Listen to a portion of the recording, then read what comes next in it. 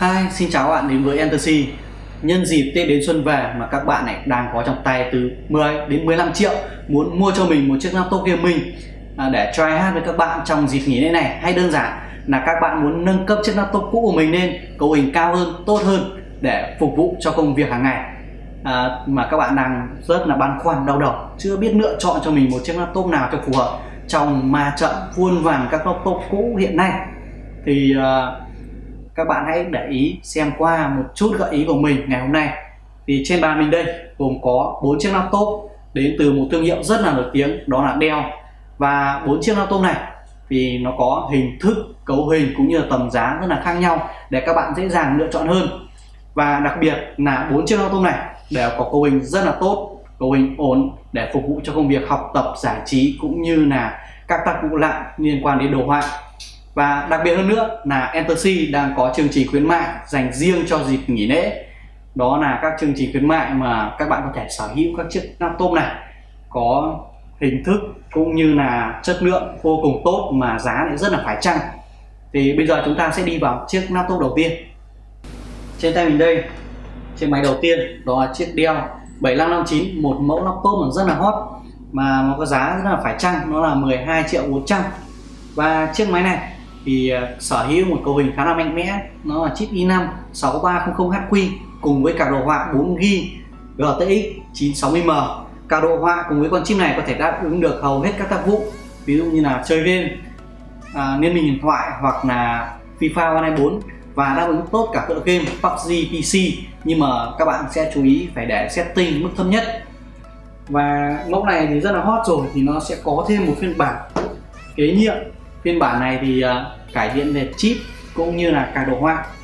Mà chiếc máy này thì bán rất là chạy rất là hot trong năm 2019 các bạn có thấy này. Hình dáng rất là phải rất là phù hợp rất là cân đối cân xứng. Chiếc máy này ấy, thì uh, nó là chiếc Dell 5577 nó được trang bị cả đồ họa đó là 10504G một con cả đồ họa khá là mạnh kèm theo đó là con chip cải tiến hơn, chip đời 7 chip i5 7300HQ có xung nhịp khá cao và cùng cấu hình, cùng phân khúc thì đeo ra một phiên bản mà gaming hầm hố chắc chắn hơn. Đây. Phiên bản này là phiên bản chip i5 7300HQ và cũng cả đồ họa 1050 và phiên bản này thì dành cho người mà thích hầm hố ấy, nó là chiếc đeo 7567 và chiếc đeo này thì nó cũng đắt hơn một chút so với chiếc đeo 5577 và theo mình đánh giá là tốt nhất phân khúc mà các bạn nếu mà có tiền thì cố gắng lựa chiếc đeo G3 này. Đây chiếc đeo mà trước mặt mình đây. Mình sẽ quay giới thiệu qua về hình dáng tại vì bây giờ mình sẽ giới thiệu hình dáng sau tí nữa thì mình sẽ test uh, cấu hình cũng như là test hiệu năng của từng chiếc máy một.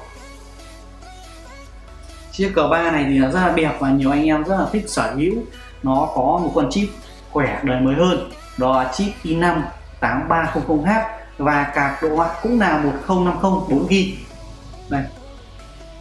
Thiết kế rất là cân xứng, nhìn rất là đẹp. Và bây giờ chúng ta sẽ đi vào test hiệu năng của từng chiếc máy.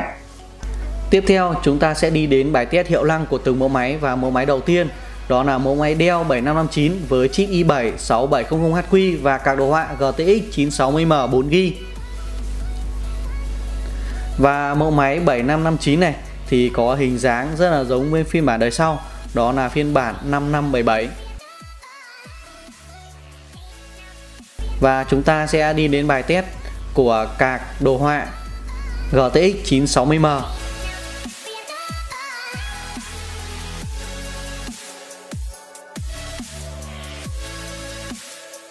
và máy đã thực hiện xong bài test với điểm số đó là 70,42 điểm số FS và tiếp theo là bài test về dựng hình cho điểm số của à, con chip i7 6700HQ và mẫu máy Dell 7559 này thì có hai phiên bản đó là phiên bản i5 giá là 12 triệu 400 và phiên bản i7 giá là 13 triệu 900 và máy đã chuẩn bị thực hiện xong bài test.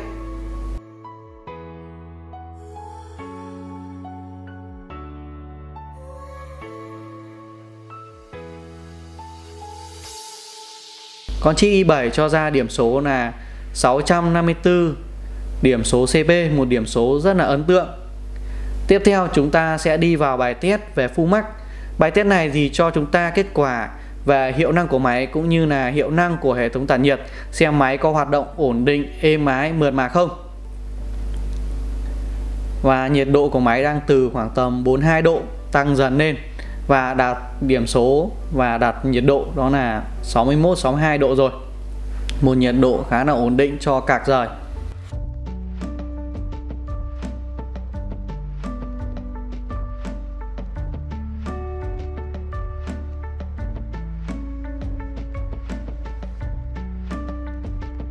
Và thực hiện xong bài test thì máy mắc chỉ có 62 độ, cực kỳ mát mẻ và điểm số là 1000 618 điểm, một điểm số rất là cao. Mẫu máy thứ hai đó chính là Dell Invision 7567 với chip i5 7300HQ và các đồ họa đó là GTX 1050 Ti. Trên phiên bản này thì có các tùy chọn i5, i7 và các đồ họa 1050 và 1050 Ti. Các bạn có thể dễ dàng lựa chọn cho phù hợp với nhu cầu và tầm tiền.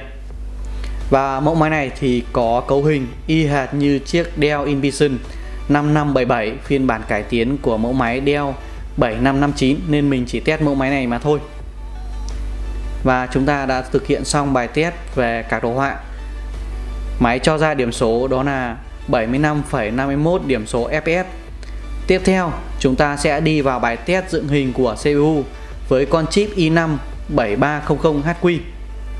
Máy thực hiện bài test rất là mượt mà.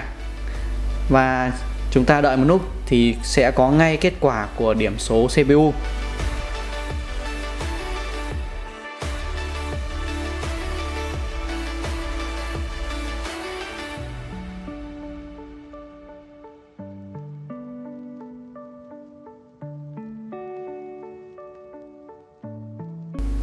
Con chip i5 đạt điểm số khá là cao, đó là 495 CB và con chip này thì kém khoảng tầm hơn 100 CB so với con chip i7 6700HQ Tiếp theo, chúng ta sẽ đi đến bài test của Fumax. Và với con cạc hình 1050 Ti thì máy đang chạy rất là mượt mà và nhiệt độ sẽ nhỉnh hơn một chút, chỉ khoảng tầm 1-2 độ mà thôi. Máy đang đạt nhiệt độ đó là 63 độ 64 độ. Và cho thấy là hệ thống tản nhiệt của Dell 7567 hoạt động vô cùng là tốt đem lại à, hiệu năng cũng như là độ bền của con à, cạc rời tốt hơn. Mẫu máy thứ ba đó là Dell G3 3579 với phiên bản chip i5 8300H và cầu đồ họa đó là 1050 Ti 4GB và mẫu máy này thì thường có tùy chọn đó là 1050 và 1050 Ti. Phiên bản 1050 Ti sẽ cao hơn khoảng tầm 1 triệu đồng và chúng ta đang đi vào bài test dựng hình của phần mềm CBNR15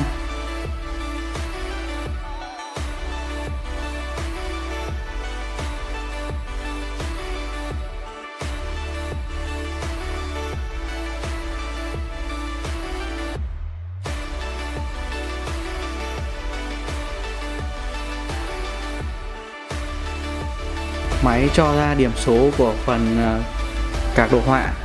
1050 Ti rất là cao. Đó là 94,32 điểm số FPS và tiếp theo chúng ta sẽ đi đến phần mềm à, dựng hình để test con chip i5 8300H và như mình nói từ đầu ấy thì con chip này có sức mạnh rất là vượt trội so với các con chip đời trước.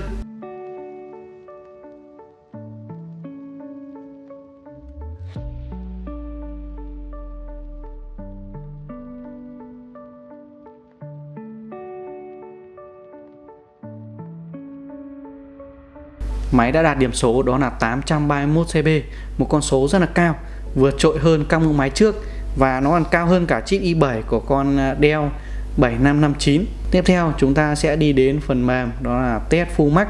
Và khi đi vào phần mềm test full max ấy với con card đồ họa đó là 1050 Ti nhiệt độ loanh quanh từ à, khoảng hơn 50 độ. Nó sẽ cao hơn một chút và nó đang tăng lên loanh quanh khoảng tầm 60 độ mà thôi và các bạn có thể thấy là với ba mẫu máy mình vừa test ấy, thì nhiệt độ của GPU chỉ loanh quanh khoảng tầm hơn 60 độ một nhiệt độ vô cùng ổn định mát mẻ và các bạn có thể thấy là hệ thống của tản nhiệt của Dell ấy hoạt động rất là tốt khiến cho CPU, GPU hoạt động vô cùng ổn định, mát mẻ và hiệu năng rất là cao. Nếu sau video này mà các bạn vẫn còn thắc mắc này, băn khoăn này hoặc là muốn tư vấn sâu hơn về những mẫu laptop mà các bạn đã lựa chọn ấy thì các bạn có thể liên hệ trực tiếp với fanpage của Entersea thì mình có để link của fanpage ở bên dưới của video. À, mong các bạn sẽ lựa chọn cho mình được một chiếc laptop hoàn toàn là ưng ý. Và chúc các bạn một kỳ nghỉ lễ Tết à, hạnh phúc đầm ấm bên gia đình. Bây giờ thì mình xin phép được xin chào và hẹn gặp lại. Bye bye.